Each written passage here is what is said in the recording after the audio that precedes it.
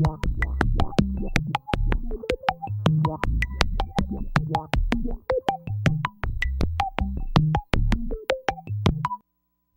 the populist dialogues? Populism was a product of an economic system which drove the American people into either greater wealth or abject poverty. From 1873 until 1893, America experienced a devastating economic crisis characterized by falling farm prices and massive urban unemployment. As the poor cotton farmers of East Texas and the South searched for a way out of their poverty, they identified the source of their conditions as the railroads and the East Coast banks. The farmers began to develop a system of farming co ops and banking mechanisms independent of these powerful institutions. While creating the new systems, the populists advocated for structural changes to the political system. They realized that neither two political parties, Republicans in the North and Democrats in the South, served them. The two parties were entrenched with the railroads and the banks. A third party was needed that united black, white, and red, as well as urban factory workers with rural farmers. Thus, the People's Party, known as the Populists, were born. Our program is called the Populist Dialogues because we identified with these early populists. The principal cause of today's economic, social, environmental, and political problems is the corporate takeover of our democracy. Corporate dominance has eliminated most of our democratic institutions. Most importantly, the American people's active participation in our decision making processes. Our program's purpose is to inform our audience of the current populist solutions to these problems. We promote true populist ideas and ideals, unlike phony populists who identify government as the source of their oppression and use wedge issues to divide the poor, working class, and the middle class.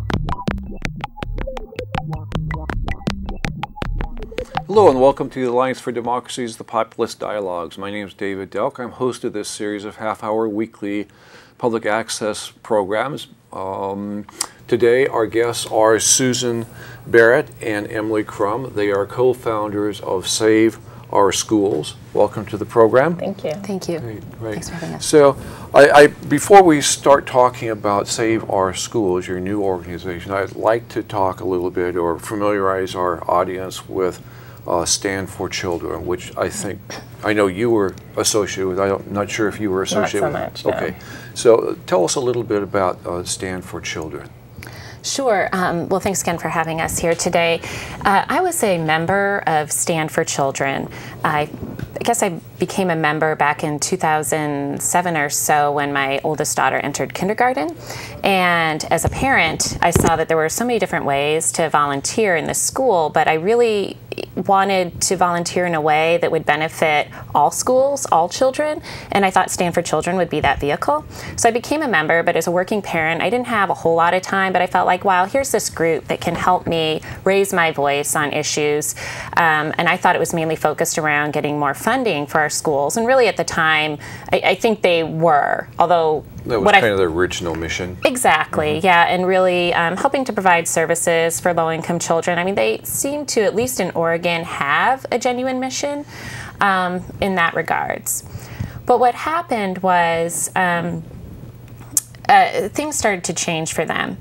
And when I became um, Stand Children team leader, this is still a volunteer position, but they basically asked someone from each school where there's a Stanford for Children team to be a member and join their strategy team. So you meet once a month, come together. When I did that, what I realized was way more things going on behind the scenes that the average member would not see.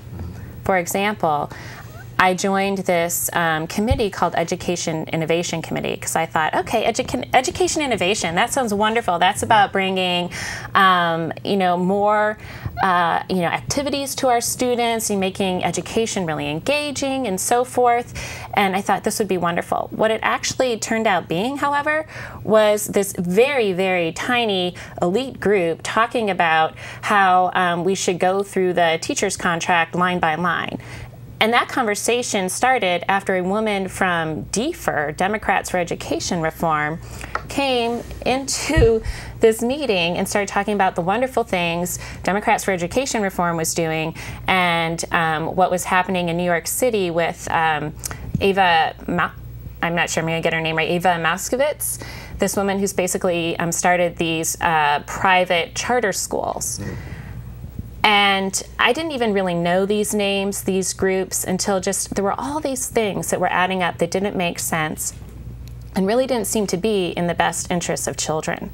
The other thing I realized was that um, they would. Um, in regards to things they wanted parents to push for and promote, they would tell you at the last minute. For example, they ask these team leaders to go to a legislative breakfast that you know happens at the start of each legislative session. So this year was in January, and we're supposed to sit down at a table and talk to our legislators. Sounds great. You sign up to do this, but we didn't get the actual stand agenda until probably at most a week before this, and then that's what we're there to promote when we don't even know about it. Mm-hmm. And actually, when you think about it, you realize, is this really, as a parent, what I would be promoting? You know, and um, and then there were other things such as um, it, I know in this last legislative session. Um, we had gotten an email from Sue Levin, who's the executive director of Stand for Children in Oregon, um, saying how we should urge our legislators to push through this package. And in bold print, what catches your eye was, you know, the wording about how this will save our teachers, you know, save their jobs. And as a parent, you don't want to see more teachers cut because, mm-hmm. I mean, our class sizes have grown exponentially. So, of course, I'm going to try to support that. But then you read the finer print below, and it talks about, you know, how this will expand charter schools and online um, schools. And it's just like, well, wait a minute. Mm-hmm. Now, that's actually going to pull resources mm-hmm. out of our schools, you know, and I, I feel they're really, they're definitely pushing this whole corporate reform agenda right now that I see as a whole conquer and divide strategy, you know, pitting parents against teachers and also just driving more people out of our public schools, which I see as, again, a divide and conquer strategy, you know, because for corporations that aren't interested in having their taxes raised, it's really handy to have parents just focused on their own schools rather than coming together to unite for public schools in general. Okay, and, and, so you formed you formed this new organization, yeah. Save, Save Our Schools. Exactly. Well, Oregon Save Our Schools to be Oregon specific, okay. just because there is a national group called Save Our Schools, and mm-hmm. so how this came about was I was getting incredibly frustrated with Stand for Children, and I actually sat down with their executive director and realized that there was no way they were going to get back to a genuine agenda. I mean, they even, um, you know, were promoting things such as um, lowering the capital gains tax rate in this last um, session. So.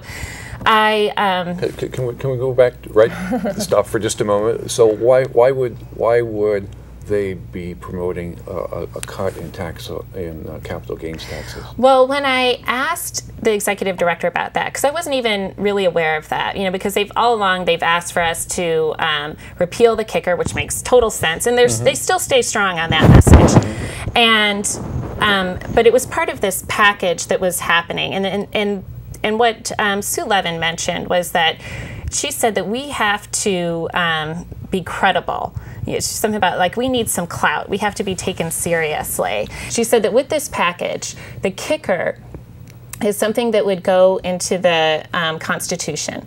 So then, if we could get the kicker repealed, that part would be set in the Constitution and would be so much harder to ever change back again.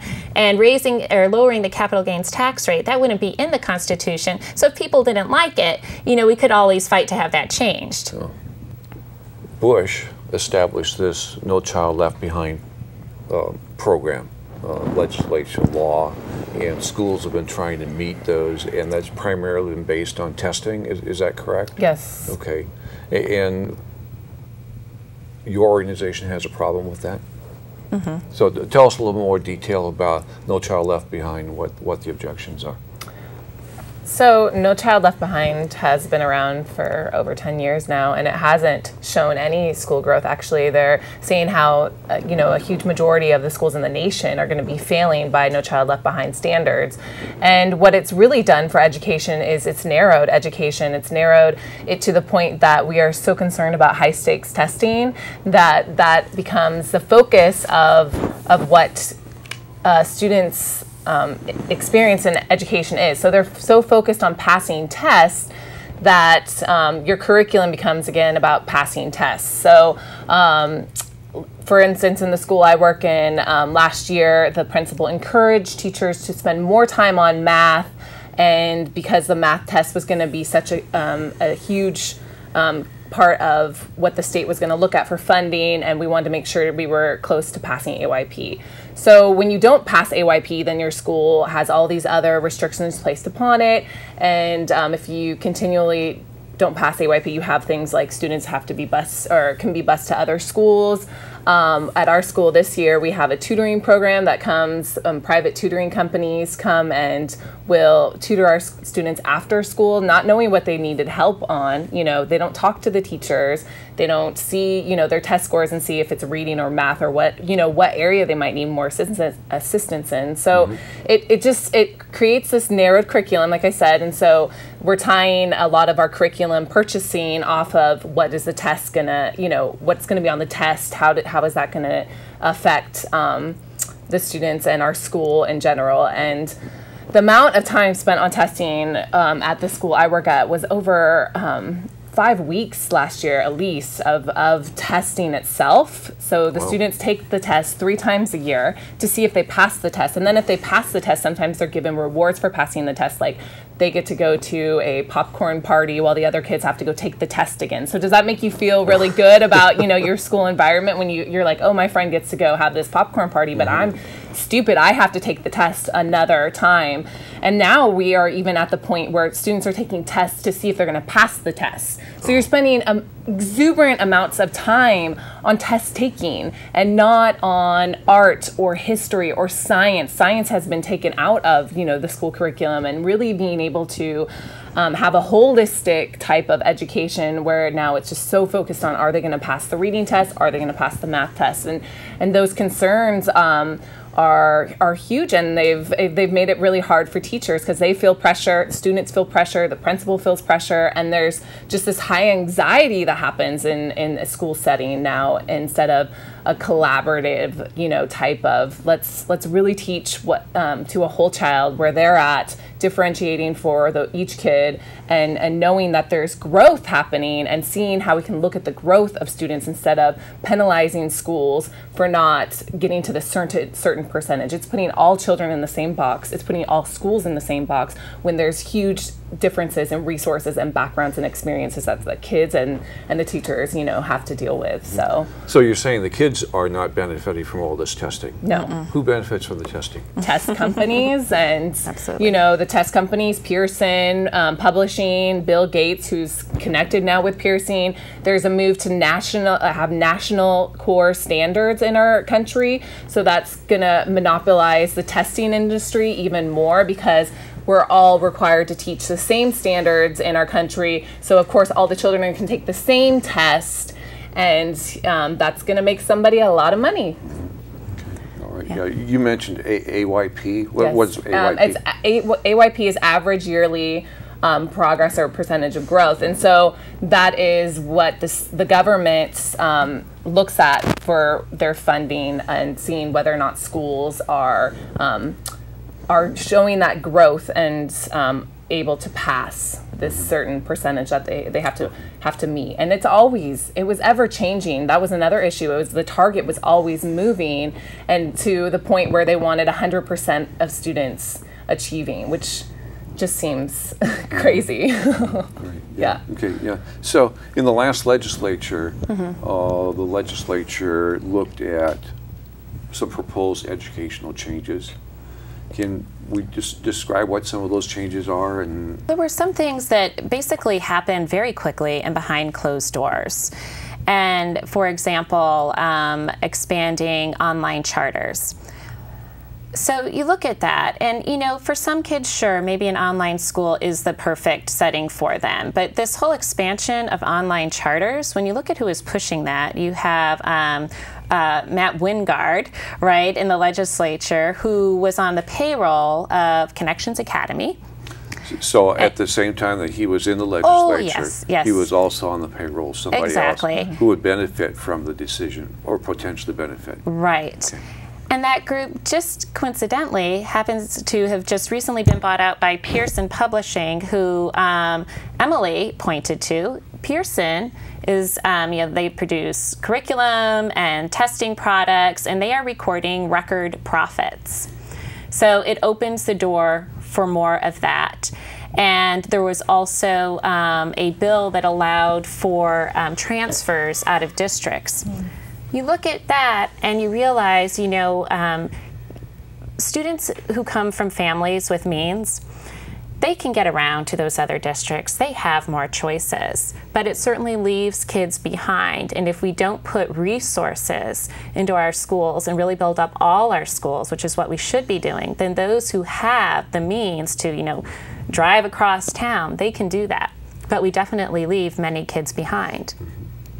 So, Okay. All right. And so there's something about uh, LearnWorks. Ah. Tell us about LearnWorks. Is that a uh-huh. private corporation? Is that a program or a proposal? Oh. Or Well, LearnWorks is this group of 30 people handpicked by the Oregon Business Council to develop a plan to be presented to the Oregon Education Investment Board. And and this that, that, that's a state agency? Yes. So actually, what, another thing that happened then in this last legislative session is there was the Senate Bill 909. Um, that uh, one thing it did is it's giving the governor this power to be you know the chief of education. We're not going to have you know the superintendent of schools anymore. Um, and he wants to coordinate services you know from pre-k you know into graduate school. That right there i don't particularly have a problem with but it seems like it's opening the door for all these other things. And um, what we've discovered is this LearnWorks proposal was actually funded um, a couple years ago by the Gates Foundation. One of the researchers they pointed to, funded by the Gates Foundation. These people are handpicked. Many of them are um, have close ties to Stand for Children. And when you look at this proposal, the thing that just there were a couple of things that really just put me on edge. First of all, when I went down to um, one of the hearings for this, the governor thanked Knowledge Universe right off the bat. Knowledge Universe is a, a private company. Um, that it was started by um, Mike Milken of Junk Bond fame. And they have a whole online learning component, and that's who he's thanking for the, for their grand work with with this whole proposal. And um, and then as I started listening to the proposal, they make lots of it sound pretty good in their little dog and pony show.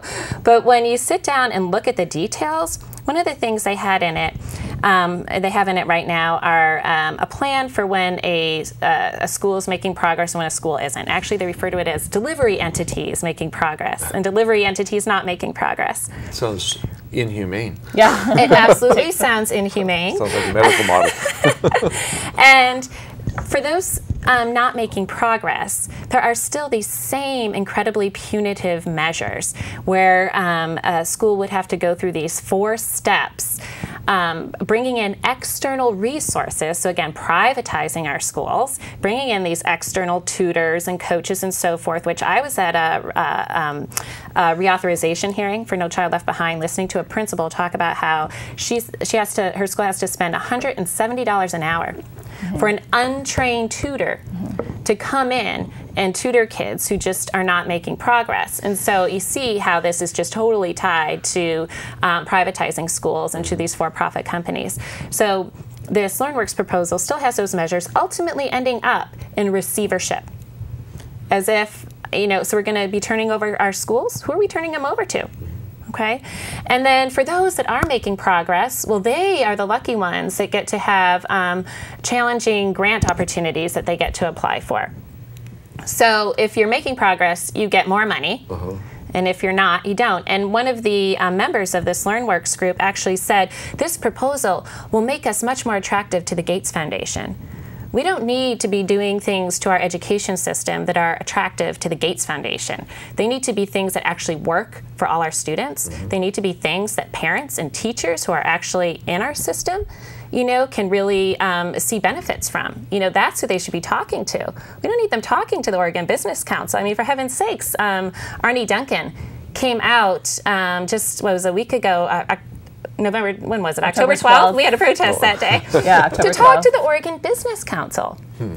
He should be talking to parents Duncan and teachers. October business, or he was talking to the um, Oregon Business Association. He was a keynote at their at their dinner to speak on. Um, the governor brought him. He's the Secretary of Education to speak to um, to this group of business leaders, and he had no intention at that time to speak to teachers. The um, the Oregon Education Association um, the Association for Teachers, the teachers union, um, pressured him to have a town hall. But his original intent was to come here just to speak to business leaders. So it's it's disconcerting that our Secretary of Education is speaking only to business leaders. That our governor of um, our state, who's now the leader of education in our state, is only speaking to business leaders. There is one teacher on his um, Oregon investment um, Oregon Education Investment Team, and that is the union um, vice president. So um, that's concerning that he everybody else on the team is connected to Stand for Children, Chalkboard Project,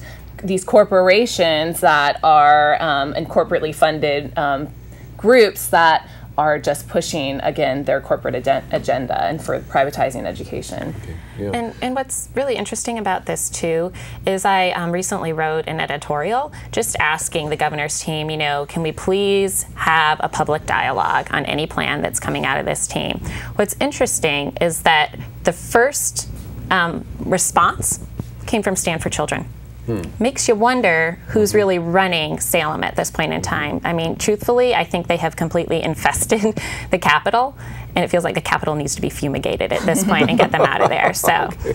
All right. Well, you probably need to talk with our guest from last week, which was mm-hmm. Barbara Dudley with the Oregon Working Families Party, mm. and see if the if the Oregon Working Families Party might be interested in helping to fumigate the Capitol. right. Yeah. So you mentioned receivership. Are there any schools in receivership? What does receivership mean, and who does who does who's the receiver? Well, um, at this point, I don't know locally if we have any in receivership. Um, one thing that's really scary about this, from what you can see in other places, is that basically schools can be turned over to for profit entities.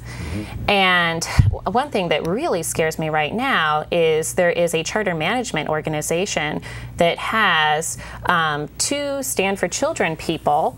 Um, starting it, Jonah Edelman, the executive director of Stanford, uh, of Stand for Children nationally. He's the founder of it. And Whitney Grubbs, who's not only a Stand for Children team leader, but also um, assistant education advisor to the governor. And they have this charter management organization, and they are opening up or planning to open up um, a charter school in Gresham Barlow, specifically targeted for students from schools that are not making progress that just doesn't seem right. And I, th- I feel like we should discuss a little bit about the whole not making progress because what that looks like is just not making progress by the standards of AYP and, mm-hmm. and high stakes testing. No, they're not looking at these other forms of, of progress in education as to, um, again, a more holistic approach to see growth, to see student writing samples, to see um, more of how students are showing growth and progress in that manner. It's just based off of, again, the high stakes testing. So that's another issue and, and concern about just looking at high stakes testing. Yeah, our, our half hour is just about over. so I, would like the camera, if you can, to focus on the Rethinking Schools magazine. And just tell us what the Rethinking Schools is, real quickly. Sure. The uh, well, the Rethinking Schools, that particular magazine, what it does is it, um, has an article in it that shows how Stand for Children changed over time. But Rethinking Schools in general is just a nonprofit organization, really um, working to um, provide a more um, culturally diverse curriculum free from uh, the influences of these uh, for profit publishing companies that really reflect the diverse backgrounds of students. Mm-hmm. Okay, great. Okay.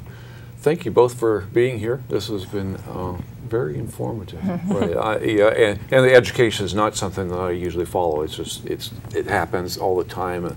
You know, and I read things about Bill and Melinda Gates Foundation giving a lot of money to the Portland school districts to divide schools into little clusters and so forth, uh, which always sounds good. But mm-hmm. you're suggesting that maybe there's another agenda there.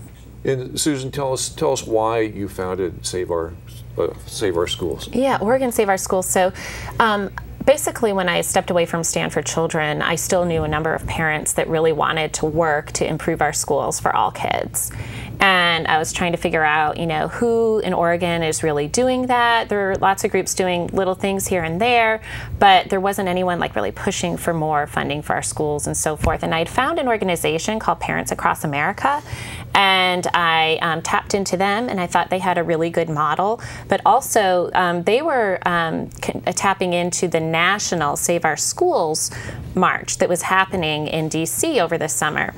And that also looked like it was kind of uh, fitting the bill of the frustrations that the parents I knew were experiencing as well. So um, I ended up actually going to that Save Our Schools march in DC, but also I wanted to find a way to bring some of what they were doing into Oregon. And so I looked them up, found out they had an information coordinator mm-hmm. who is Emily. And that's how Emily and I connected. And so we basically joined forces, and we um, have been, you know, just this uh, group kind of moving along. We didn't even give ourselves a name till I think about uh, a month ago. Oh. And we decided on Oregon Save Our Schools. And really, it's a group of teachers, parents, students, and community members, um, and people you know that are really caring and want to see public education, you know, um, not taken over by this corporate education reform. Okay, yeah. And, and, tell us how, how do people get in contact with you? Well, we don't have a website yet, yet. but we do have a Facebook page. Um, Oregon SOS, just look it up on Facebook. We also have um, an email account, OregonSOSinfo at gmail.com. So mm-hmm. thank you both for being here. Thank you. Thank you. Good. Great. So uh, that concludes our program for today. Um, if your local public access station does not broadcast Populist Dialogues, contact the station and request that they do so. Populist Dialogues are available to them at no charge um, at www.pegmedia.org.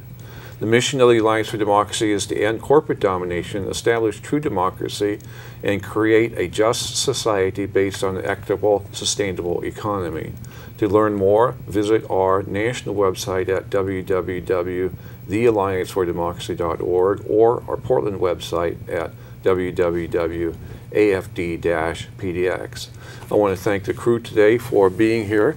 Uh, without them, we wouldn't be on the air. So thank you to Janet Morris, Joan Horton, Tom Thomas, Roger Bates, Dave King. I want to thank the audience for watching us again. We are on every week uh, here in the Portland metropolitan area, and we hope that you'll join us again next week. Thank you.